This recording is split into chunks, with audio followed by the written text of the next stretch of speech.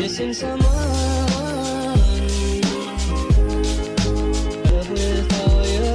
Hi everyone, welcome to Chrissy's Books. I am your girl Chrissy. It has been so long since I've done a book review. I think it's been like three weeks, maybe a month.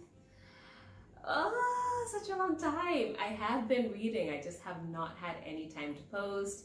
And I guess I've taken a little bit of a hiatus, but I am back with a vengeance and a really interesting book for um, this week's book.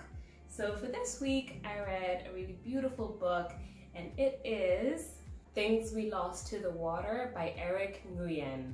Um, I never know if it's like a silent NG or like Nguyen, um, but yeah, Vietnamese author, Things We Lost to the Water. So I heard about this book from um, another Vietnamese author uh, of a book that I just loved so much called um, The Mountains Sing. And the author is Nguyen Phan Que Mai. Um, I saw this book on her Instagram profile some point early this year, and I remember thinking like, I have to read that because if she says it's good, then I know it's to be a good book. So, you know, much love to Nguyen Phan Que Mai she's, she's just so awesome and I love her book so much. Um, and I feel like this would have been a similar vibe as well to the other book that I read. So, uh, huge, huge thanks to Knopf Books for sending me um, an advanced review copy of this book. This book is out now, so you can definitely go and read it. I'll post an Amazon link below if you want to purchase it through there. And yeah, and I just know that I felt like this book would be a good read because it just looks epic and it just looks like it's going to be a good story. Um, and I was recently away on a little beach holiday, so that's what I was reading. And I was like, I just need a book that's going to transport me, you know, um, to another land. And uh, yeah, so that's what I read. And also, it is um, LGBTQ plus Pride Month. And this also happens to be a Pride book, which I didn't really realize when I picked it up. So it was a really great coincidence. Right, so let's jump into what this book is all about. The setting for this book is in Vietnam um, and then also mostly in New Orleans in Louisiana in the US. We follow a young mother named Huong as she arrives in New Orleans with her two young sons. She is jobless, she's homeless, and she worries about her husband Kong, who remains behind in Vietnam. As she slowly begins to adjust to her new life in New Orleans, she continues to send letters and voice messages to her husband back home in the hopes that Kong will soon join them in America and that her children will grow up with their father around. As time passes, Hong realizes she will never see her husband again. While she copes with this realization, her sons Tuan and Ben grow up in their absent father's shadow haunted by a man and a country trapped in their memory and imagination. The family adapts to life in America in very different ways. Huong seeks the company of a Vietnamese car salesman who is also new in town. Tuan tries to keep his heritage alive and connects with local Vietnamese gang, and Ben, who's the youngest, um, who now goes by Ben, um, fully embraces his new homeland and his newfound sexuality. Their search for identity as individuals and as a family threatens to tear them apart. But then disaster strikes the city they now call home, and they must find a way to come together and honor the ties that bind them. So, how epic does that sound, right? So, that is what this book is all about. Stay tuned. When I come back, I'm going to give you guys my review for this book, my rating, and my song pick, which is a really beautiful song. So, stay tuned.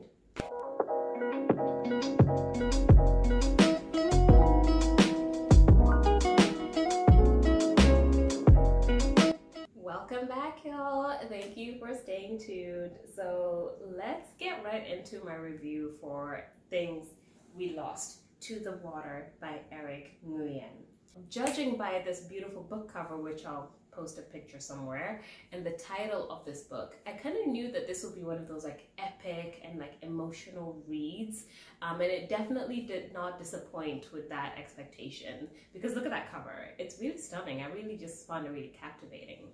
Um, I really enjoyed reading this book a lot. I thought the narrative was really bold and it was sweeping and it definitely kept you gripped the entire way through. Um, and I really love the characters of this book. There's not a lot of characters, which is quite cool. And you really feel for each individual character um, throughout this book. And I thought that the author did a fantastic job with the character development. Um, and I was really quite stunned that this was Eric Nguyen's first book like his debut book because it's really good and I'm really looking forward to whatever it is that he'll come out with in the future. So we obviously follow this young mother, you know, with her two sons as she makes this epic journey from Vietnam um, into a foreign land that she's never, you know, seen before, like from back away from everything that is familiar to her.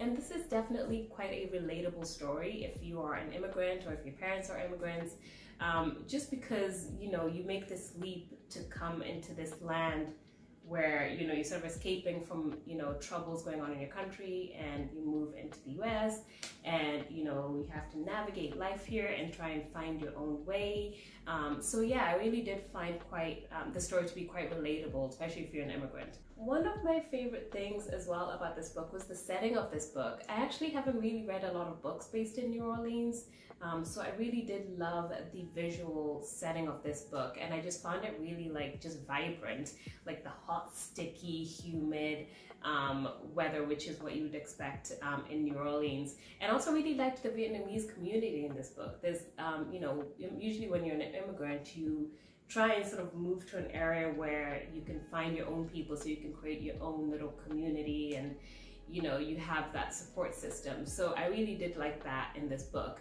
Another aspect of this book that I really loved were the challenges that the author brings to us. Um, the story of the father was quite intriguing. You know, why did he remain in Vietnam? Why is he not joining, you know, the family in America? You'll find all that out when you read the book. Not gonna tell you.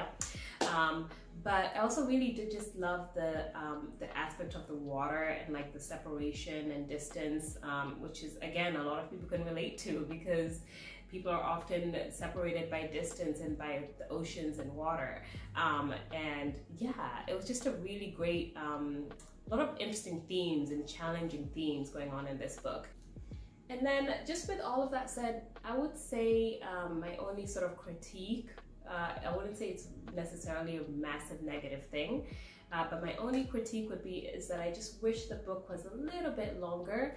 Um, I really wanted to get to know the characters a little bit more, um, mostly because we just got like various clips from each character. Because the book was based in such a massive time time span, you know, some of the chapters would kind of like jump quite quickly within years, like so there was quite like a big leap of time um, at times in this book. So yeah, that's really my only like critique. But otherwise, I thought this book was really nice and it was written so beautifully. It was so effortless. Like I, I loved it. Um, so right after all that, let's actually like get into my rating for Things We Lost to the Water. So I gave Things We Lost to the Water by Eric Nguyen a rating of 8 out of 10. Yeah, so it's a good book. It's a solid book. Um, 8 out of 10 for me means that this book was great. It was a great read. Um, solid book. The story had substance. Um, it was very enjoyable and gripping, and I would definitely recommend for you to read it if you're into like nice, epic, family, immigrant, you know, type of stories. Um, you will love this book.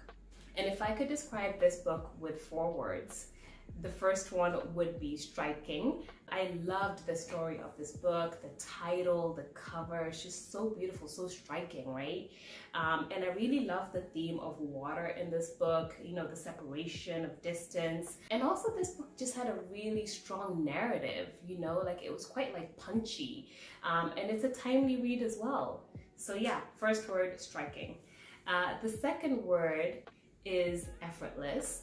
Um, I just felt like this book was really original. It's not a book that I've kind of like read about before so I just really liked how like fresh and like just original it was. And it's really quite a stunning debut uh, from Eric Nguyen. Um, I definitely think he's an author to watch out for. The third word is moving. This is a really just like epic, emotional, heart-rending um, type of book. Um, it's very raw, it's devastating, um, and I really liked the Vietnamese immigrant experience uh, that we get to learn about in this book.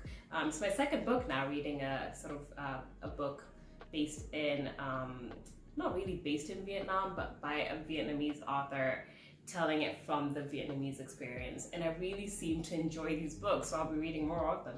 Um, so yeah, very moving. The fourth word, last but not least, is elegant. Um, this book was just so effortless. The writing was really nice. Like it was just a nice, just nicely written book. Very good writing. I loved it. Um, very eloquent and it had a bit of a quiet sophistication to it, which I really liked. And so just to wrap up my review, all in all, this book was about the search for identity in a foreign land. It's a story about loss. It's a story about moving on. It's a story about the Vietnamese immigration experience told um, during the time of the during the time of the Vietnam War. Um, it's about complicated relationships between a mother and her sons in a foreign land. And then ultimately, it's about trying to stay connected to one another when circumstances in life threatens um, to push your family apart. It's a really beautiful book, and I really think that you should read it if that sounds like the kind of book that you would read. You're gonna enjoy this book. It's beautiful, it's raw, and it's emotional. You know, it's just like a good book. And with all of that, let's get to the fun bit of my book review.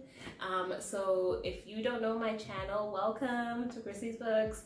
I heart music so much. Music is like everything to me. And um, whenever I read a book, I love pairing it with a song. And so my, my song pick for Things We Lost to the Water is a really beautiful song and it is Photograph by Ed Sheeran. Oh, that song is just so pretty and I just feel like it really fits in with the whole theme of this book. Um, it's about long distance relationships, being separated from loved ones, feel like it really just like resonates with um, the beginning parts of this book. You know, just sort of that longing to be close to like loved ones um, that are far away. So yeah, watch the music video. I'm gonna link it um, around this time. It's a really beautiful song, beautiful video. And I hope you enjoyed my book review and I'm back. I'm back, yay! I'm trying to do, I have like two more book reviews to do. Like I have so many reviews to do um, of books that I've already read. But anyway, I will link um, the song pick. I'm gonna link my written review if you wanna check that out. If you wanna buy the book, I'll link that as well. And that's it for me. Thank you so much and have a great week.